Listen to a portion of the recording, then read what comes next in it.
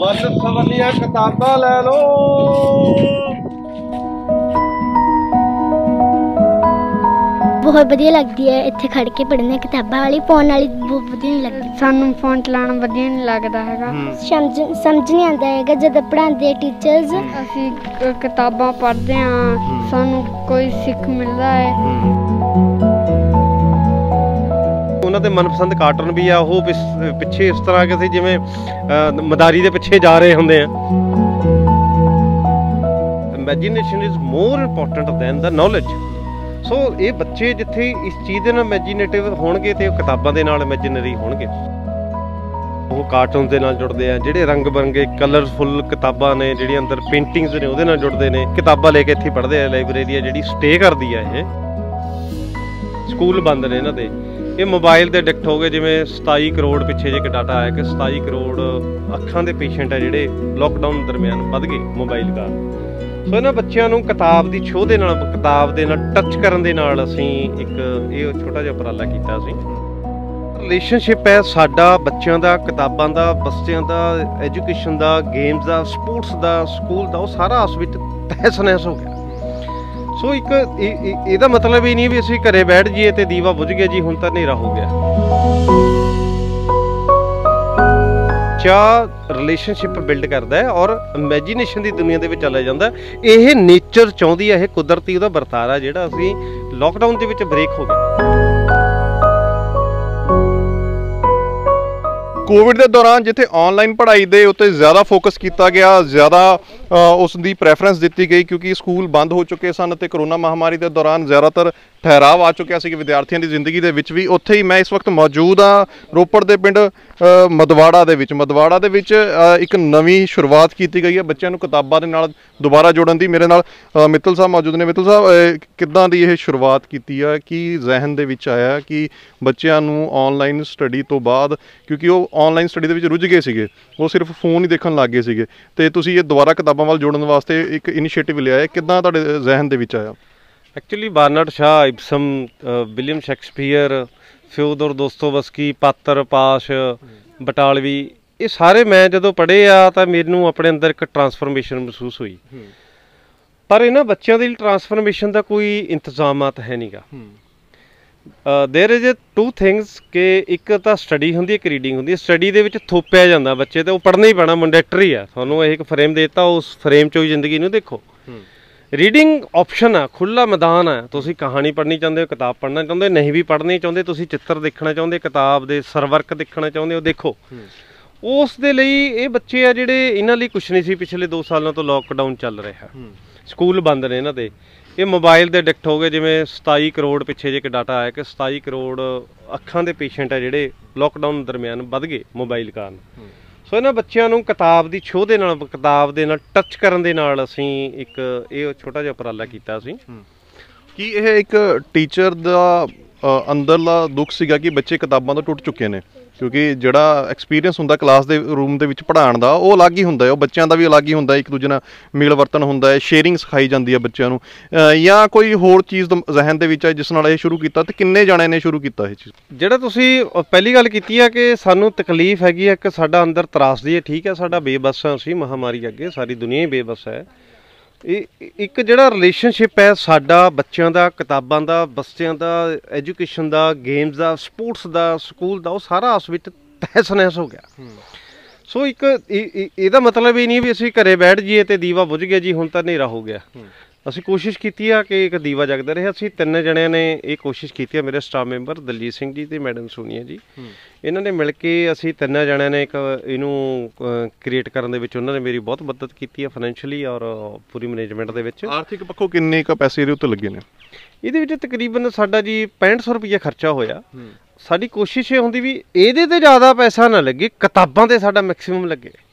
ਸੋ ਇਹ ਤੁਸੀਂ ਦੇਖੋ ਵੀ ਸਾਰੀਆਂ ਕਿਤਾਬਾਂ ਹੀ ਨਵੀਆਂ ਖਰੀਦੀਆਂ ਗਈਆਂ। ਔਰ ਬੱਚਿਆਂ ਦੇ ਲਈ ਇਹ ਵੀ ਜੇ ਤੁਸੀਂ ਬੱਚਾ ਜੇ ਕਿਤਾਬ ਨਹੀਂ ਵੀ ਮੋੜਦਾ ਇਟਸ ਨਾਟ ਮੈਂਡੇਟਰੀ ਕਿ ਉਹ ਵਾਪਸ ਕਰੇ। ਅਸੀਂ ਚਾਹੁੰਦੇ ਕਿ ਕਿਤਾਬ ਲੈ ਕੇ ਉਹ ਕਿਤਾਬ ਦੇ ਨਾਲ ਜੁੜ ਜਾਵੇ ਕਿਤਾਬ ਦੀ ਕੀਮਤ ਕੋਈ ਨਹੀਂ ਹੈ ਉਹਦੇ ਜੁੜਨ ਦੀ ਕੀਮਤ ਹੈ। ਉਹ ਅਸੀਂ ਚਾਹੁੰਦੇ ਹਾਂ। ਆਧੁਨਿਕ ਯੁੱਗ ਚੱਲ ਰਿਹਾ ਹੈ। ਤੁਸੀਂ ਮੈਂ ਦੇਖਦਾ ਵੀ ਜਿੱਥੇ ਹਰੇਕ ਚੀਜ਼ ਨੂੰ ਹਾਈ ਟੈਕ ਬਣਾਇਆ ਜਾਂਦਾ ਹੈ। ਤੁਸੀਂ ਇੱਕ ਰੇੜੀ ਦੇ ਉੱਤੇ ਇਹ ਸਾਰੀ ਚੀਜ਼ ਖੜੀ ਕਰ ਦਿੱਤੀ ਹੈ। ਇਹ ਆਰਥਿਕ ਪੱਖੋਂ ਘੱਟ ਪੈਸਾ ਖਰਚਣ ਦੀ ਗੱਲ ਸੀਗੀ ਜਾਂ ਕੋਈ ਇਸ ਦੇ ਪਿੱਛੇ ਵੀ ਕੋਈ ਕਹਾਣੀ ਸੀਗੀ? ਐਕਚੁਅਲੀ ਮੈਂ ਇੱਕ ਥੀਏਟਰ ਆਰਟਿਸਟ ਹਾਂ ਸਾਡੀ ਇੱਕ ਟ੍ਰੇਨਿੰਗ ਦਾ ਹਿੱਸਾ ਹੈਗਾ ਵੀ ਜੋ ਹੈਗਾ ਉਹਦੇ ਵਿੱਚ ਕੀ ਕ੍ਰੀਏਟ ਕਰ ਸਕਦੇ ਹਾਂ ਅਸੀਂ। ਹੁਣ ਜੇ ਇਹੀ ਅਸੀਂ ਕਿਸੇ ਬਹੁਤ ਵੱਡੀ ਕੰਪਨੀ ਨੂੰ ਆਰਡਰ ਦਿੰਦੇ ਬਣਾਉਂਦੇ ਤਾਂ ਇਹਦਾ ਹੀ ਬਜਟ ਹੈ ਜਿਹੜਾ 60000 ਰੁਪਏ ਬਣ ਜਾਣਾ ਸੀ। ਹਨਾ?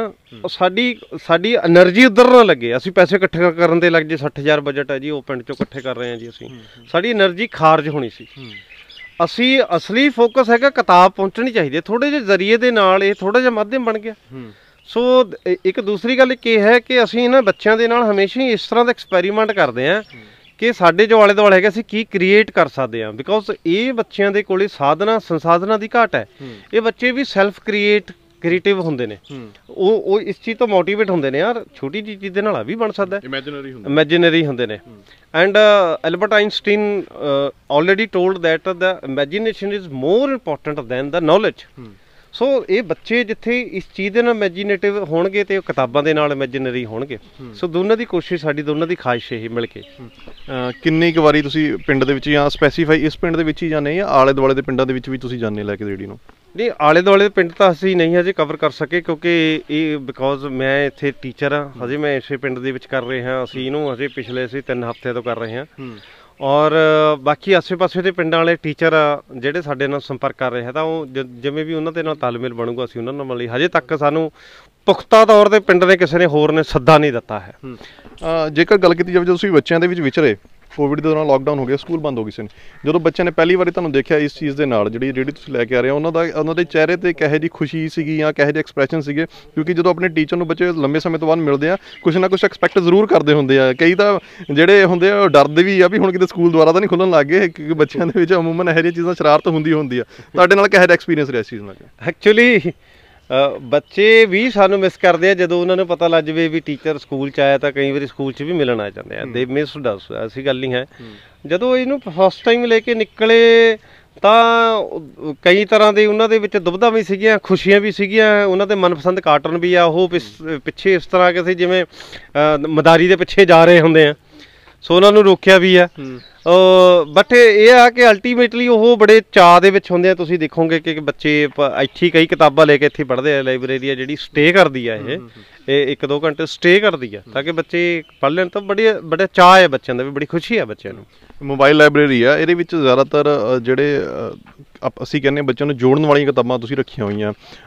ਸਪੋਜ਼ ਕਰ ਲਓ ਪੰਛੀਆਂ ਵਾਲੀਆਂ ਕਿਤਾਬਾਂ ਰੱਖੀਆਂ ਹੋਈਆਂ ਜਾਂ ਛੋਟੇ ਬੱਚਿਆਂ ਨੂੰ ਜਿਹੜੀਆਂ ਖੇਡਾਂ ਖੇਡਦੇ ਆ ਉਹ ਕਿਤਾਬਾਂ ਰੱਖੀਆਂ ਹੋਈਆਂ। ਕੀ ਇਹ ਬੱਚਿਆਂ ਨੂੰ ਜਿਹੜੇ ਐਜੂਕੇਸ਼ਨ ਤੋਂ ਟੁੱਟ ਚੁੱਕੇ ਸੀਗੇ ਆਨਲਾਈਨ ਐਜੂਕੇਸ਼ਨ ਨਾਲ ਜੁੜ ਚੁੱਕੇ ਸੀਗੇ ਉਹਨਾਂ ਨੂੰ ਦੁਬਾਰਾ ਜੋੜਨ ਦੀ ਕੋਸ਼ਿਸ਼ ਵੀ ਹੋ ਰਹੀ ਹੈ ਇਸ ਮਾਧਿਅਮ ਦੇ ਨਾਲ? ਬਿਲਕੁਲ ਜੀ ਬਿਲਕੁਲ। ਕਿਉਂਕਿ ਜਿਹੜੇ ਬੱਚੇ ਆ, ਉਹ ਕਾਰਟੂਨ ਦੇਖ ਕੇ ਬਹੁਤ ਖੁਸ਼ ਹੁੰਦੇ ਆ ਉਹ ਆਪਣੇ ਆਪ ਨੂੰ ਰਿਜ਼ੈਂਬਲ ਕਰਦੇ ਉਸ ਚੀਜ਼ ਨਾਲ। ਇਹ ਜੀ ਕਿਤਾਬਾਂ ਦੇ ਨਾਲ ਰਿਲੇਸ਼ਨਸ਼ਿਪ ਕਿਵੇਂ ਕਿਵੇਂ ਬੱਚਿਆਂ ਦਾ ਡਿਵੈਲਪ ਹੁੰਦਾ ਇੱਕ ਤਾਂ ਉਹ ਕਾਰਟੂਨ ਦੇ ਨਾਲ ਜੁੜਦੇ ਆ, ਜਿਹੜੇ ਰੰਗ ਬਰੰਗੇ ਕਲਰਫੁੱਲ ਕਿਤਾਬਾਂ ਨੇ, ਜਿਹੜੀਆਂ ਅੰਦਰ ਪੇਂਟਿੰਗਸ ਨੇ, ਉਹਦੇ ਨਾਲ ਜੁੜਦੇ ਨੇ। ਫਿਰ ਉਹਦੇ ਅੰਦਰ ਜਿਹੜੇ ਕਰੈਕਟਰਸ ਹੈਗੇ ਨੇ ਉਹਨਾਂ ਦੇ ਮੋਟੂ ਛੋਟੂ ਹੈਗੇ ਮੋਟੂ ਪਤਲੂ ਹੈਗੇ ਕਰੈਕਟਰਸ ਡੋਰੀਮੋਨ ਕਰੈਕਟਰਸ ਹੈਗੇ ਨੇ ਉਹਨਾਂ ਦੇ ਪੰਛੀਆਂ ਦੇ ਕਰੈਕਟਰਸ ਹੈਗੇ ਨੇ। ਉਹ ਸਾਰੇ ਜਦੋਂ ਵਿੱਚ ਆਉਂਦੇ ਆ ਤਾਂ ਬੱਚਾ ਰਿਲੇਸ਼ਨਸ਼ਿਪ ਬਿਲਡ ਕਰਦਾ ਹੈ ਔਰ ਇਮੇਜਿਨੇਸ਼ਨ ਦੀ ਦੁਨੀਆ ਦੇ ਵਿੱਚ ਚਲਾ ਜਾਂਦਾ। ਇਹ ਨੇਚਰ ਚਾਹੁੰਦੀ ਹੈ ਇਹ ਕੁਦਰਤੀ ਉਹਦਾ ਵਰਤਾਰਾ ਜਿਹੜਾ ਅਸੀਂ ਲੋਕਡਾਊਨ ਦੇ ਵਿੱਚ ਬ੍ਰੇਕ ਹੋ ਗਿਆ ਹਾਲਾਤ ਨੇ ਬ੍ਰੇਕ ਬ੍ਰੇਕ ਕਰਤਾ। ਤੁਸੀਂ ਡੋਰੀਮਨ ਸ਼ਬਦ ਯੂਜ਼ ਕੀਤਾ ਡੋਰੀਮਨ ਅਰਬਨ ਆਇਆ ਅਰਬਨ ਸ਼ਬਦ ਹੋ ਗਿਆ ਹੈ। ਚਾਚਾ ਚੌਧਰੀ ਦੀਆਂ ਕਹਾਣੀਆਂ ਦੀਆਂ ਜਿਹੜੀਆਂ ਕਿਤਾਬਾਂ ਜਾਂ ਕਾਮਿਕਸ ਉਹ ਵੀ ਤੁਸੀਂ ਇਹਦੇ ਵਿੱਚ ਰੱਖੀਆਂ ਹੋਈਆਂ ਕਿਉਂਕਿ ਉਹ ਆਪਣੇ ਆਪ ਦੇਸੀ ਨੇ ਜਿਹਨੂੰ ਆਪਾਂ ਕਹਿੰਦੇ ਨੇ ਆਪਾਂ ਸੁਣ ਕੇ ਆਪਾਂ ਚੱਲਦੇ ਉਹਨਾਂ ਨੂੰ। ਡੋਰੀਮਨ ਥੋੜਾ ਅਰਬਨ ਹੋ ਜਾਂਦਾ ਹੈ। ਆਪਾਂ ਇਸ ਵਕਤ ਪਿੰਡ ਦੇ ਵਿੱਚ ਮੌਜੂਦ ਆ ਮੈਨੂੰ ਜਿਸ ਹਿਸਾਬ ਨਾਲ ਬੱਚੇ ਬੈਠੇ ਆ ਇਹ ਆਨਲਾਈਨ ਮੇਰੇ ਹਿਸਾਬ ਨਾਲ ਸਟੱਡੀ ਵੀ ਅਫੋਰਡ ਕਰਨੀ ਇਹਨਾਂ ਵਾਸਤੇ ਬਹੁਤ ਮੁਸ਼ਕਿਲ ਹੁੰਦੀ ਹੋਏਗੀ। ਕੀ ਤੁਸੀਂ ਉਹਨਾਂ ਨੂੰ ਦੇਸੀ ਪੁਣੇ ਦੇ ਨਾਲ ਤੇ ਜਿਹੜੀ ਆਨਲਾਈਨ ਸਟੱਡੀ ਤੋਂ ਦੂਰ ਕਰਨ ਵਾਸਤੇ ਇਸ ਚੀਜ਼ ਦੇ ਵਿੱਚ ਹੋਰ ਕੀ ਕੀ ਕਰੋਗੇ ਤੁਸੀਂ? ਅਸੀਂ ਸਾਡੀ ਕੋਸ਼ਿਸ਼ ਤੇ ਆਪਣੀ ਖਾਹਿਸ਼ ਇਹੀ ਆ ਕਿ ਜਿਸ ਤਰ੍ਹਾਂ ਤੁਸੀਂ ਚਾਚਾ ਚੌਧਰੀ ਸਾਬੂ ਹੁੰਦੇ ਸੀ ਕਰੈਕਟਰ ਦੇ ਜਿਹੜੇ ਇਹਨਾਂ ਦੇ ਪਸੰਦਾ ਦੁੱਖ ਦੁਖਾਂਤਕ ਗੱਲ ਕੀ ਹੈ ਕਿ ਉਹਨਾਂ ਦੇ ਆਧਾਰ ਤੋਂ ਹੁਣ ਕਿਤਾਬਾਂ ਮਾਰਕੀਟ 'ਚ ਨਹੀਂ ਅਵੇਲੇਬਲ। ਡਿਮਾਂਡ ਨਹੀਂ ਰਹੀ। ਬਟ ਜੇ ਅਸੀਂ ਇਹ ਕਹੀਏ ਕਿ ਅੱਜ ਟੈਕਨੋਲੋਜੀ ਨੇ ਅਰਬਨ ਤੇ ਜਿਹੜਾ ਇੱਕ ਪਿੰਡੂ ਖੇਤਰ ਦਾ ਕੋਈ ਬਹੁਤਾ ਪਾੜਾ ਰਹਿ ਨਹੀਂ ਦਿੱਤਾ ਹੈਗਾ ਗਲੋਬਲਾਈਜੇਸ਼ਨ ਦਾ ਜ਼ਮਾਨਾ ਇਹ ਦੇ ਨੋਜ਼ 올 ਦਾ ਕਰੈਕਟਰਸ ਔਰ ਰੀਸੈਂਟ ਕਰੈਕਟਰ ਸਾਰਿਆਂ ਨੂੰ ਜਾਣਦੇ ਆ ਇਹ। ਸੋ ਸਾਡਾ ਜਿਹੜੇ ਨੈਕਸਟ ਸਾਡੀ ਪਲੈਨਿੰਗ ਹੈ ਕਿ ਬੱਚੇ ਨੂੰ ਹੋਰ ਵਧੀਆ ਤਰੀਕੇ ਨਾਲ ਜੋੜੀਏ। ਅਸੀਂ ਇਹਦੇ ਵਿੱਚ LED ਆ ਜਿਹੜੀ ਉਹ ਕਰਨ ਜਾ ਰਹੇ ਹਾਂ ਤਾਂ ਕਿ ਜਿਹੜੇ ਬੱਚੇ ਹੈਗੇ ਆ ਉਹ ਕਿਤਾਬ ਦੇ ਰਿਲੇਟਡ ਉਹਦੇ ਨਾਲ YouTube ਤੋਂ ਅਸੀਂ ਕੁਝ ਉਹਨਾਂ ਨੂੰ ਦਿਖਾ ਦਈਏ ਤਾਂ ਕਿ ਉਹਦਾ ਇੰਟਰਸਟ ਕਿਤਾਬ ਪਾਰਟਿਕੂਲਰ ਕਿਤਾਬ ਦੇ ਬਾਰੇ ਚ ਹੋਵੇ। ਪੱਤਰ ਸਾਹਿਬ ਦੀ ਇਹਦੇ ਕਿਤਾਬਾਂ ਪਈਆਂ ਨੇ ਅਸੀਂ ਚਾਹੁੰਦੇ ਕਿ ਕਿਤਾਬ ਪਾਤਰ ਸਾਹਿਬ ਦੀ ਵੀਡੀਓਜ਼ ਆ ਜਿਹੜੀਆਂ ਬੱਚਿਆਂ ਨੂੰ ਦਿਖਾਈਏ ਤਾਂ ਕਿ ਪਾਤਰ ਸਾਹਿਬ ਦੀਆਂ ਕਿਤਾਬਾਂ ਪੜ੍ਹਨ ਵਾਸਤੇ ਬਹੁਤ ਛੋਟੇ ਨੇ ਇਹ ਉਹ ਸੋਚ ਨੂੰ ਅਪਣਾਉਣ ਵਾਸਤੇ ਵੀ ਕਿਉਂਕਿ ਜੋ ਜੇ ਤੁਸੀਂ ਵਿਜ਼ੂਅਲਾਈਜ਼ ਕਰੋਗੇ ਉਸ ਚੀਜ਼ ਜ਼ਿਆਦਾ ਨੇੜੇ ਹੋ ਜਾਏਗੀ ਇਹਨਾਂ ਦੇ। ਸਮੱਸਿਆ ਇਹ ਆ ਵੀ ਅਸੀਂ ਪਾਤਰ ਸਾਹਿਬ ਦੀਆਂ ਕਵਿਤਾਵਾਂ ਨੂੰ ਲੈ ਕੇ ਸੋਚਦੇ ਹਾਂ ਵੀ ਉਹ ਇੱਕ ਬਹੁਤ ਵੱਡੇ ਕਵੀ ਨੇ। ਪਰ ਤੁਸੀਂ ਇੱਥੇ ਦੇਖੋਗੇ ਉਹਨਾਂ ਦੀ ਬੱਚਿਆਂ ਦੇ ਪੱਧਰ ਦੀਆਂ ਬਹੁਤ ਸਾਰੀਆਂ ਕਿਤਾਬਾਂ ਨੇ। ਬਾਲ ਸਾਹਿਤ ਹੈ ਉਹਨਾਂ ਦਾ ਸਿਰਜਿਆ ਹੋਇਆ। ਗੁਰਦਿਆਲ ਸਿੰਘ ਜੀ ਦਾ ਬਾਲ ਸਾਹਿਤ ਹੈ ਤਰਸੇਮ ਜੀ ਦਾ ਬਾਲ ਸਾਹਿਤ ਹੈ। ਬੜੇ ਸਾਰੇ ਰਾਈਟਰ ਆ। ਉਹਨਾਂ ਬਾਰੇ ਥੋੜਾ ਜਿਹਾ ਇੱਕ ਆਈਡੀਆ ਜਿਹਾ ਹੋ ਜਾਂਦਾ ਜਦੋਂ ਬੱਚੇ ਨੂੰ ਇਹ ਹੁੰਦਾ ਅੱਛਾ ਇਹਨਾਂ ਨੇ ਲਿਖੀ ਹੈ ਕਿਤਾਬ? ਇਹ ਮੈਂ ਜ਼ਰੂਰ ਪੜ੍ਹਨੀ ਹੈ ਜੀ। ਤੋ ਅਸੀਂ ਪਲਾਨ ਆਊਟ ਕਰ ਰਹੇ ਹਾਂ ਕਿ ਐਲਈਡੀ ਲਾਈਏ। ਸ਼ਾਮ ਜੇ ਨੂੰ ਇਹ ਅਸੀਂ ਲਾਇਬ੍ਰੇਰੀ ਦਾ ਟਾਈਮ ਹੈ ਜਿਹੜਾ ਸ਼ਾਮ ਦਾ ਕਰਨ ਜਾ ਰਹੇ ਹਾਂ। ਤਾਂ ਕਿ ਕਿਤਾਬ ਦੇ ਬਾਰੇ ਚ ਹੋਰ ਜ਼ਿਆਦਾ ਬੱਚੇ ਜਿਗਿਆਸੂ ਜਿਗਿਆਸੂ ਹੋਣ ਕਿਰਜੀਸ ਹੋਣ ਬੱਚੇ? ਇਹ ਰਜਿਸਟਰ ਕਿਸ ਚੀਜ਼ ਦਾ ਲਗਾਇਆ ਗਿਆ? ਮੈਂ ਆਪਣੇ ਸਹਿਯੋਗੀ ਨੂੰ ਕਹਿੰਦਾ ਰਜਿਸਟਰ ਦਿਖਾ ਦਿਓ। ਇਹ ਰਜਿਸਟਰ ਕਿਸ ਚੀਜ਼ ਦਾ ਲਗਾਇਆ ਤੁਸੀਂ ਇਹ ਲਾਇਬ੍ਰੇਰੀ ਆ ਕਿਉਂਕਿ ਅਸੀਂ ਬੱਚੇ ਨੂੰ ਕਿਤਾਬ ਇਸ਼ੂ ਕਰਤੀ। ਇਹ ਇਹਦਾ ਰਿਕਾਰਡ ਬਣ ਗਿਆ ਬੱਚੇ ਦੀ ਕਿਤਾਬਾਂ ਦਾ। ਨੈਕਸਟ ਵੀਕ ਜਦੋਂ ਅਸੀਂ ਆਉਣਾ ਅਸੀਂ ਬੱਚੇ ਤੋਂ ਕਿਤਾਬ ਵਾਪਸ ਲੈਣੀ ਹੈ। ਹੈ। ਨਾ ਜੀ? ਤੇ ਜੇ ਕੋਈ ਬੱਚਾ ਨਹੀਂ ਦੇ ਰਿਹਾ ਅਸੀਂ ਮਾਰਕ ਕਰ ਲੈਣੀ ਆ। ਉਹ ਸਾਡੇ ਕੋਲ ਇੱਕ ਰਿਕਾਰਡ ਰਹਿੰਦਾ ਵੀ ਕਿੰਨੀਆਂ ਕਿਤਾਬਾਂ ਮੇਰੇ ਕੋਲ ਇਸ ਟਾਈਮ 500 ਕਿਤਾਬਾਂ ਦਾ ਸਟਾਕ ਆ। ਪਰ ਜੇ ਕਿਤੇ ਘਟ ਜਾਂਦੀ ਫਿਰ ਦਾਨੀ ਸੱਜਣ ਹੋਰ ਆ ਸਾਰੇ ਯਾਰ ਮਿੱਤਰਾਂ ਤੋਂ ਅਸੀਂ ਹੋਰ ਕਿਤਾਬਾਂ ਵੀ ਲੈ ਲੈਂਦੇ ਜਿਹੜੇ ਭਾਈ ਸਾਹਿਬ ਇਸ ਵਕਤ ਰੇੜੀ ਨੂੰ ਖਿੱਚਦੇ ਪਏ ਨੇ ਉਹਨਾਂ ਨੂੰ ਵੀ ਫਿਰ ਤੁਸੀਂ ਆਰਥਿਕ ਮਦਦ ਦਿੰਦੇ. ਉਹਨਾਂ ਨੂੰ ਕਿੰਨੀ ਦੇ ਰਹੇ ਹੋ? ਤੁਸੀਂ ਤਿੰਨ ਜਣੇ ਆਪਸ ਸ਼ੇਅਰਿੰਗ ਕਰ ਰਹੇ ਹੋ? ਹਾਂਜੀ ਹਾਂਜੀ। ਇਹਨਾਂ ਨੂੰ ਅਸੀਂ ਇੱਕ ਦਿਨ ਦਾ ਜਿਹੜਾ ਹੈਗਾ 100 200 ਰੁਪਈਆ ਅਸੀਂ ਦਿੰਦੇ ਆ ਇਹਨਾਂ ਨੂੰ ਅਸੀਂ। ਤੇ ਜਦੋਂ ਵੀ ਲੋਡ ਹੁੰਦੀ ਹੈ ਸਾਡੇ ਲਈ ਅਵੇਲੇਬਲ ਹੁੰਦੇ ਇਹਨਾਂ ਨੂੰ ਅਸੀਂ ਸ਼ਡਿਊਲ ਬਣਾ ਕੇ ਦਿੱਤਾ ਹੋਇਆ ਅੱਛਾ ਜੀ ਬੱਚਿਆਂ ਨਾਲ ਗੱਲ ਕਰਨ ਦੀ ਕੋਸ਼ਿਸ਼ ਕਰਾਂਗੇ। ਬੱਚੇ ਕਿੱਦਾਂ ਦਾ ਲੱਗ ਰਿਹਾ ਹੈ? ਸਕੂਲ ਬੰਦ ਪਏ ਸੀਗੇ ਲੇਕਿਨ ਆਹ ਤੁਸੀਂ ਦੁਬਾਰਾ ਪੜ੍ਹਾਈ ਸ਼ੁਰੂ ਕਰ ਦਿੱਤੀ ਆ। ਲਾਇਬ੍ਰੇਰੀ ਚੱਲਦੀ ਆ। ਵਧੀਆ ਲੱਗਿਆ ਦੇਖ ਕੇ? ਵਧੀਆ ਲੱਗਿਆ ਜੀ। ਅੰਕਲ ਸਾਨੂੰ ਫੋਨ ਚਲਾਉਣਾ ਵਧੀਆ ਨਹੀਂ ਲੱਗਦਾ ਹੈਗਾ। ਫੋਨ ਚਲਾਉਣਾ ਕਿਉਂ ਨਹੀਂ ਵਧੀਆ ਲੱਗਦਾ? ਤੁਹਾਡੀ ਉਮਰ 'ਚ ਤਾਂ ਨਿਆਣੇ ਫੋਨ ਛੱਡਦੇ ਹੀ ਨਹੀਂ ਹੈਗੇ। ਤੁਸੀਂ ਕਹਿੰਦੇ ਫੋਨ ਚਲਾਉਣਾ ਨਹੀਂ ਵਧੀਆ ਲੱਗਦਾ। ਸਾਨੂੰ ਜੀ ਪੜ੍ਹਾਈ ਪੜ੍ਹਾਈ ਵਧੀਆ ਲੱਗਦੀ ਹੈ। ਫੋਨ ਤੇ ਜਿਹੜੀ ਪੜ੍ਹਾਈ ਹੁੰਦੀ ਆ ਉਹ ਸਮਝ ਆ ਜਾਂਦੀ ਆ ਤੁਹਾਨੂੰ? ਕਲਾਸ ਦੇ ਵਿੱਚ ਜਾਂ ਜਿੱਦਾਂ ਤੁਸੀਂ ਕਲਾਸ ਦੇ ਵਿੱਚ ਜਾ ਕੇ ਬੈਠਦੇ ਹੁੰਦੇ ਸੀਗੇ ਕੋਈ ਚੀਜ਼ ਨਹੀਂ ਪਤਾ ਲੱਗਣੀ ਹੱਥ ਖੜਾ ਕਰਕੇ ਪੁੱਛ ਲੈਣਾ ਫੋਨ ਤੇ ਇਹ ਚੀਜ਼ ਹੋ ਜਾਂਦੀ ਸੀਗੀ ਤੁਹਾਡੇ ਕੋਲੋਂ? ਹੋ ਜਾਂਦੀ। ਨਹੀਂ ਉਹ ਫੋਨ ਸੌਖਾ ਲੱਗਦਾ ਕਿ ਇਹ ਸੌਖਾ ਲੱਗਦਾ? ਇਹ ਜ਼ਿਆਦਾ ਵਧੀਆ ਲੱਗਦਾ ਤੁਹਾਨੂੰ ਜਾਂ ਉਹ ਲੱਗਦਾ ਸੀਗਾ? ਇਹ ਜ਼ਿਆਦਾ ਵਧੀਆ ਲੱਗਦਾ। ਉਹ ਕਿਉਂ? ਇਸ ਕਰਕੇ ਵੀ ਅਸੀਂ ਕ- ਕਿਤਾਬਾਂ ਪੜ੍ਹਦੇ ਹਾਂ। ਸਾਨੂੰ ਕੋਈ ਸਿੱਖ ਮਿਲਦਾ ਹੈ। ਹੂੰ। ਠੀਕ ਹੈ ਹੋਰ ਬੱਚੇ ਵੀ ਛੋਟੇ ਛੋਟੇ ਬੱਚੇ ਵੀ ਮੌਜੂਦ ਨੇ। ਬੇਟਾ ਕੀ ਨਾਮ ਆ ਤੁਹਾਡਾ? ਨਾਜ਼ੀਆ। ਨਾਜ਼ੀਆ। ਨਾਜ਼ੀਆ ਕਿਹੜੀ ਪੜ੍ਹਾਈ ਜ਼ਿਆਦਾ ਵਧੀਆ ਲੱਗਦੀ? ਇਹ ਵਾਲੀ ਕਿਤਾਬਾਂ ਵਾਲੀ ਇੱਥੇ ਖੜ ਕੇ ਵਧੀਆ ਲੱਗਦੀ ਹੈ ਜਾਂ ਜਿਹੜੀ ਫੋਨ ਦੇ ਉੱਤੇ ਹੁੰਦੀ ਉਹ ਵਾਲੀ ਵਧੀਆ ਲੱਗਦੀ ਹੈ ਮੈਨੂੰ ਇਹ ਵਾਲੀ ਬਹੁਤ ਵਧੀਆ ਲੱਗਦੀ ਹੈ ਇੱਥੇ ਖੜ ਕੇ ਪੜ੍ਹਨਾ ਕਿਤਾਬਾਂ ਵਾਲੀ ਫੋਨ ਵਾਲੀ ਬਹੁਤ ਵਧੀਆ ਨਹੀਂ ਲੱਗਦੀ ਮੈਨੂੰ। ਫੋਨ ਵਾਲੀ ਕਿਉਂ ਨਹੀਂ ਵਧੀਆ ਲੱਗਦੀ ਸੀਗੀ? ਉਸ ਵਿੱਚ ਕੁਝ ਸਮਝ ਸਮਝ ਨਹੀਂ ਆਉਂਦਾ ਹੈਗਾ। ਜਦੋਂ ਪੜ੍ਹਾਉਂਦੇ ਟੀਚਰਸ ਕਿਤਾਬਾਂ ਤਾਂ ਸਿੱਖ ਵੀ ਮਿਲ ਜਾਂਦੀ ਹੈ ਇਸ 'ਚ ਸਮਝ ਵੀ ਆ ਜਾਂਦਾ ਹੈ। ਫੋਨ ਤੇ ਇਦਾਂ ਹੁੰਦਾ ਸੀਗਾ ਵੀ ਕਈ ਵਾਰੀ ਚਾਰਜ ਨਹੀਂ ਹੋਣਾ ਜਾਂ ਲਾਈਟ ਨਹੀਂ ਹੋਣੀ ਇਦਾਂ ਦਾ ਵੀ ਦਿੱਕਤ ਆਉਂਦੀ ਸੀਗੀ ਪਰੇਸ਼ਾਨੀ ਹੁੰਦੀ ਸੀਗੀ। ਹਾਂਜੀ। ਅੱਛਾ ਫਿਰ ਘਰ ਦੇ ਫੋਨ ਕਹਿੰਦੇ ਸੀ ਕਿ ਫੋਨ ਤੇ ਪੜਿਆ ਕਰੋ ਜਾਂ ਇੱਥੇ ਆਪ ਹੀ ਆ ਜਾਂਦੇ ਹੁਣ ਤੁਹਾਨੂੰ ਪਤਾ ਹੁੰਦਾ ਵੀ ਇਸ ਦਿਨ ਆਣਾ ਹੈ ਅਸੀਂ ਕਿਤਾਬ ਲੈ ਕੇ ਆ ਰਹੀ ਹੈ ਇੱਥੋਂ ਕਿਤਾਬ ਲੈ ਕੇ ਵੀ ਗਏ ਹੋਏ ਹੋ ਤੁਸੀਂ? ਹਾਂਜੀ। ਅੱਛਾ ਵਾਪਸ ਕਰ ਦਿੰਨੇ ਆ? ਹਾਂਜੀ ਕਰ ਦਿੰਦੇ ਅੱਛਾ ਇਹ ਵਾਲੀ ਪੜ੍ਹਾਈ ਜ਼ਿਆਦਾ ਅੱਛੀ ਆ ਹੁਣ? ਹਾਂਜੀ ਇਹ ਵਾਲੀ ਪੜ੍ਹਾਈ ਜ਼ਿਆਦਾ ਅੱਛੀ ਹੈ ਪਿੰਡ ਵਾਸੀਆਂ ਵੱਲੋਂ ਪੂਰਾ ਸਹਿਯੋਗ ਹੈ ਇੱਥੇ ਪੰਚਾਇਤ ਵੱਲੋਂ ਵੀ ਮੈਨੂੰ ਆਫਰ ਕੀਤੀ ਗਈ ਹੈ ਵੀ ਕਿਸੇ ਤਰ੍ਹਾਂ ਦੀ ਕੋਈ ਦਿੱਕਤ ਹੋਵੇ ਸਾਨੂੰ ਤੁਸੀਂ ਦੱਸਣਾ ਹੈ। ਸੁਭਾਵਿਕ ਤੌਰ ਤੇ ਹਰ ਬੰਦਾ ਚਾਹੁੰਦਾ ਕਿ ਸਾਡੇ ਬੱਚੇ ਗਰੋ ਕਰਨ। ਉਹਨਾਂ ਦੀ ਖਾਹਿਸ਼ ਹੁੰਦੀ ਹੈ ਜੋ ਅਸੀਂ ਸੰਘਰਸ਼ ਕੀਤਾ ਹੈ ਜਾਂ ਦੋ ਜੋਨ ਦੀ ਰੋਟੀ ਲਈ ਅਸੀਂ ਲੜ ਰਹੇ ਹਾਂ ਬੱਚੇ ਨਾਲ ਲੜਨ। ਤਾਂ ਉਹ ਐਜੂਕੇਸ਼ਨ ਉਹਨਾਂ ਨੂੰ ਦੇ ਨੋਸ ਕਿ ਐਜੂਕੇਸ਼ਨ ਦੀ ਇੰਪੋਰਟੈਂਸ ਹੈ। ਹੁਣ ਸਾਡੇ ਕੋਲੇ ਇਹਦੇ ਨਾਲ ਫ਼ਰਕ ਇਹ ਪੈ ਰਿਹਾ ਕਿ ਇਹ ਪਿੰਡ ਦੇ ਵਿੱਚ 16 ਬੱਸਾਂ ਪੀਲੇ ਰੰਗ ਦੀਆਂ ਐ ਕਰਦੀਆਂ ਸੀਗੀਆਂ ਜਦੋਂ ਲੋਕਡਾਊਨ ਨਹੀਂ ਸੀਗੀਆਂ। ਠੀਕ ਆ ਲੋਕਡਾਊਨ ਲੱਗ ਗਿਆ। ਇਹਦਾ ਮਤਲਬ ਪ੍ਰਾਈਵੇਟ ਬੱਚੇ ਬਹੁਤ ਬੱਚੇ ਜਾਂਦੇ ਸੀਗੇ ਇੱਥੇ। ਹੁਣ ਸਾਡਾ ਆਪਣਾ ਹੀ ਸਕੂਲ ਮੇਰਾ ਆਪਣਾ ਸਕੂਲ ਪੂਰੇ ਬਲਾਕ ਦੇ ਵਿੱਚ ਸਭ ਤੋਂ ਵੱਧ ਇੱਥੇ ਤਾਦਾਦ ਹੈ 160 ਬੱਚਾ ਸਾਡੇ ਕੋਲੇ ਦਾਖਲ ਆ। ਲਾਕਡਾਊਨ ਤੋਂ ਬਾਅਦ ਇਜ਼ਾਫਾ ਹੋਇਆ ਇਸ ਚੀਜ਼ ਦੇ ਇਜ਼ਾਫਾ ਹੋਇਆ। ਔਰ ਜਦੋਂ ਸਾਡਾ ਇਹ ਕਦਮ ਹੈਗਾ ਇਹਦੇ ਇਹਦੇ ਨਾਲ ਸਪਰੈਡਿੰਗ ਹੁੰਦੀ ਆ ਸਾਡੀ ਕਿ ਅਸੀਂ ਪਹਿਲਾਂ ਇਹ ਹੁੰਦਾ ਸੀ ਵੀ ਮਾਸਟਰ ਦਾ ਕੋਈ ਕੰਮ ਹੀ ਨਹੀਂ ਕਰਦੇ। ਸਾਡੀ ਸਪਰੈਡਿੰਗ ਹੋ ਰਹੀ ਹੈ ਵੀ ਦੇਖੋ ਬੰਦੇ ਲੱਗੇ ਹੋਏ ਆ ਤਾਂ ਛੁੱਟੀਆਂ ਦੇ ਵਿੱਚ ਛੁੱਟੀਆਂ ਦੇ ਵਿੱਚ ਘਰੇ ਏਸੀ ਲੱਗਿਆ ਹੁੰਦਾ ਕੂਲਰ ਲੱਗਿਆ ਹੁੰਦਾ ਘਰੇ ਆਰਾਮ ਵੀ ਕਰ ਸਕਦੇ ਆ। ਸਾਡੀ ਕੋਈ ਸਾਨੂੰ ਕੋਈ ਡਿਪਾਰਟਮੈਂਟ ਵੱਲ ਤੋਂ ਕੋਈ ਇਸ ਤਰ੍ਹਾਂ ਦੀ ਕੰਪਲਸ਼ਨ ਹੈ ਨਹੀਂਗੀ ਸੋ ਇਹਦੇ ਨਾਲ ਫਾਇਦਾ ਇਹ ਹੋ ਰਿਹਾ ਕਿ ਸਾਡੇ ਕੋਲੇ ਪ੍ਰਾਈਵੇਟ ਸਕੂਲਾਂ ਚੋਂ ਬੱਚੇ ਆ ਜਿਹੜੇ ਹਟਾ ਕੇ ਪੇਰੈਂਟਸ ਇੱਥੇ ਲਗਾ ਰਹੇ ਮਤਲਬ ਇਹ ਸੁ- ਤੁਸੀਂ ਸੁਸਾਇਟੀ ਨੂੰ ਗਿਵ ਬੈਕ ਕਰ ਰਹੇ ਹੋ। ਜੇ ਸੁਸਾਇਟੀ ਤੁਹਾਡੇ ਵਾਸਤੇ ਕੁਝ ਕਰਦੀ ਹੈ ਤੁਸੀਂ ਸੁਸਾਇਟੀ ਨੂੰ ਗਿਵ ਬੈਕ ਕਰ ਰਹੇ ਇਸ ਵਕਤ। ਇਹ ਚੀਜ਼ ਹੋ ਯੈਸ ਯੈਸ ਯੈਸ ਸੁਸਾਇਟੀ ਦਾ ਤਾਂ ਦੇਖੋ ਤੁਸੀਂ ਇੱਕ ਗੱਲ ਦੇਖੋ ਜੀ ਜੇ ਸਾਡੇ ਕੋਲੇ ਬੱਚਾ ਪੜ ਰਿਹਾ ਤਾਂ ਪੰਜਾਬੀਆਂ ਦਾ ਕਰੋੜਾਂ ਰੁਪਈਆ ਬਚਦਾ ਹੈ। ਪੂਰੇ ਪੰਜਾਬ ਦੇ ਸੁਨਹਿਰੇ ਦੀ ਗੱਲ ਕਰੀਏ ਹੁਣ ਸਾਡੇ ਕੋਲੇ 11 ਲੱਖ ਬੱਚਾ ਪੂਰੇ ਪੰਜਾਬ ਦੇ ਵਿੱਚ ਦਾਖਲ ਹੋਇਆ। ਤਾਂ ਉਹ ਪ੍ਰਾਈਵੇਟ ਸੈਕਟਰ ਦੇ ਵਿੱਚ ਪੈਸਾ ਜਾਣਾ ਸੀ ਤਾਂ ਪੰਜਾਬੀਆਂ ਦੇ ਪੈਸੇ ਬਚ ਗਏ ਨਾ। ਤੇ ਜੇ ਅਸੀਂ ਇਹੀ ਪਿੰਡ ਵਾਲਿਆਂ ਨੂੰ ਸਮਝਾਉਂਦੇ ਕਿ ਤੁਹਾਡੇ ਪੈਸੇ ਬਚਣਗੇ ਔਰ ਸਾਡਾ ਐਜੂਕੇਸ਼ਨ ਲੈਵਲ ਤੇ ਪ੍ਰਾਈਵੇਟ ਸਕੂਲ ਦਾ ਤੁਸੀਂ ਕੰਪੈਰੀਜ਼ਨ ਕਰਕੇ ਦੇਖੋ। ਇਨਫਰਾਸਟ੍ਰਕਚਰ ਦਾ ਕੰਪੈਰੀਜ਼ਨ ਦੇਖੋ। ਸਾਡੇ ਸੈਫਰਡ ਦਾ ਕੰਪੈਰੀਜ਼ਨ ਕਰਕੇ ਦੇਖੋ। ਠੀਕ ਹੈ ਜੀ? ਸੋ ਉਹਦਾ ਬੈਨੀਫਿਟ ਪਿੰਡ ਵੱਲੋਂ ਸਹਿਯੋਗ ਮੈਨੂੰ ਪੂਰਾ ਮਿਲ ਰਿਹਾ ਔਰ ਇਸ ਚੀਜ਼ ਦਾ ਬੈਨੀਫਿਟ ਇਹ ਹੈ ਕਿ ਸਾਡੇ ਕੋਲ ਐਨਰੋਲਮੈਂਟ ਵਧੂਗੀ ਤਾਂ ਸਾਡੇ ਕੋਲੇ ਪੋਸਟ ਗ੍ਰੇਡ ਹੋਊਗੀ।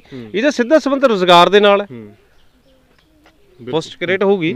ਟੀਚਰ ਨੂੰ ਕਿਸੇ ਨੂੰ ਰੋਜ਼ਗਾਰ ਮਿਲੂਗਾ?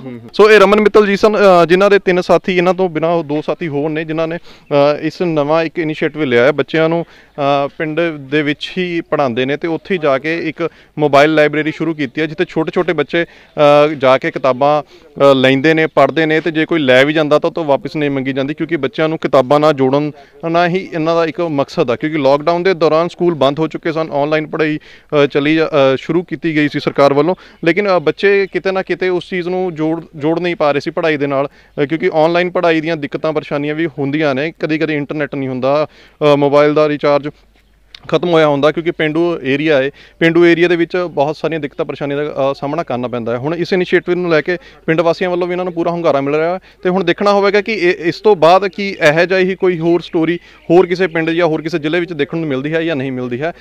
ਰੋਜ਼ਾਨਾ ਸਪੋਕਸਮੈਨ ਟੀਵੀ ਦੇ ਲਈ ਮੈਂ ਮਨਪ੍ਰੀਤ ਚਾਹਲ ਰੋਪੜ ਤੋਂ।